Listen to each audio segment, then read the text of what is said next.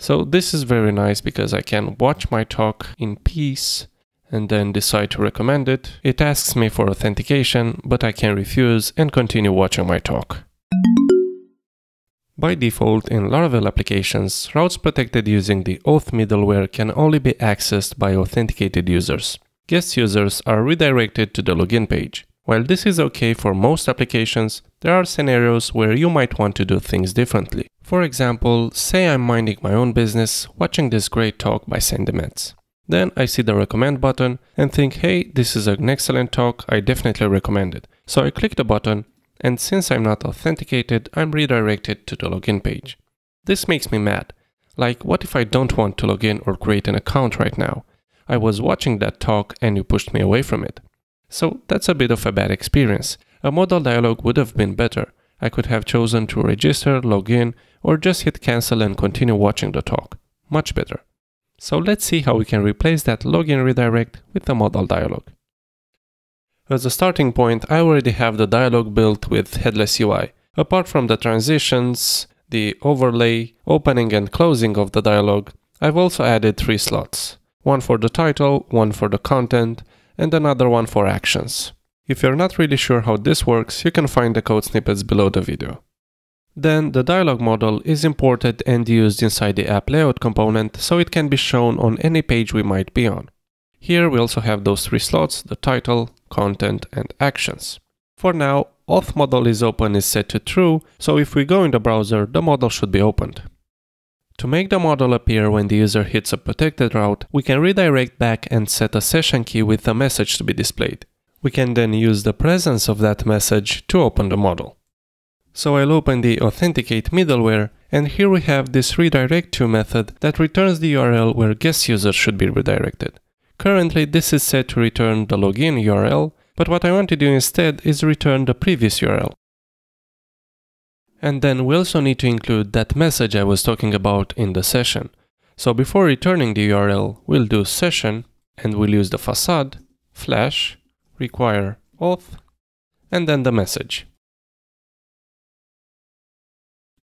The next step is to add this session message to the shared data inside the handle inertia request middleware.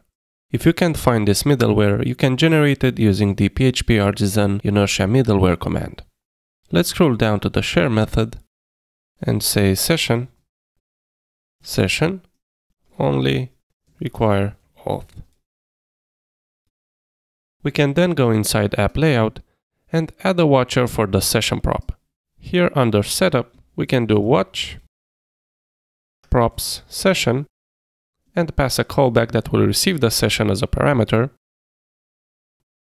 Let's import the watch function and here we can do auth modal is open value. And to convert the require auth string into a boolean, we can do bang bang session require auth. Let's also add a console. Go to the browser, refresh, and click the recommend button. Here it is, it's set to true, however, the modal isn't appearing. The reason for that is because our dialog modal component lives inside the app layout, which is set as a persistent layout, meaning that it doesn't re-render between requests. So we need a way to force the dialog modal component to re-render. And the easiest way to do that is by setting a key, which will eventually change when the session changes. So we'll do auth modal key. Let's grab this, put it here, inside the setup and we'll do ref. And to give it a unique value, we'll do new date, get the time and set it to string. Let's expose this. And then here, when the session changes, we'll set its value to the same thing. Now if I go inside the browser and refresh, click the recommend button, here it is. Next up, let's make sure we set the correct message, the one we get from the server. We'll add a new ref, we'll do auth modal message. And then here, when the session changes, we'll do auth modal message value equals to session require auth. And of course, let's expose this. and then use it inside the template. Go in the browser, refresh, click the recommend button, and here it is. This is the message we're getting back from the server.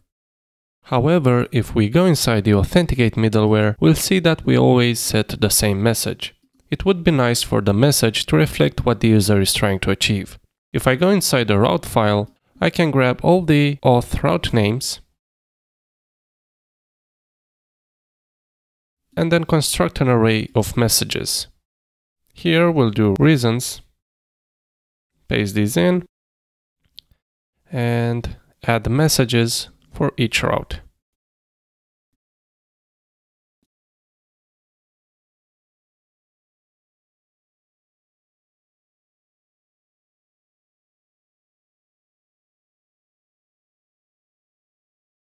And now we can set the correct reason by grabbing the route name from the request. We can do reasons, request, route, get name. And let's also set a default.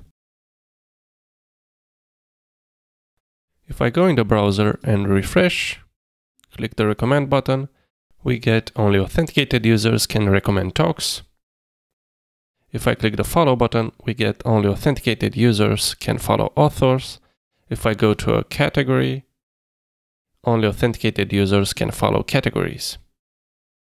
So this is very nice because I can watch my talk in peace and then decide to recommend it. It asks me for authentication, but I can refuse and continue watching my talk. Isn't that nice? If you enjoyed this video, don't forget to like it, share it, subscribe, click the bell button, all that good stuff. Bye!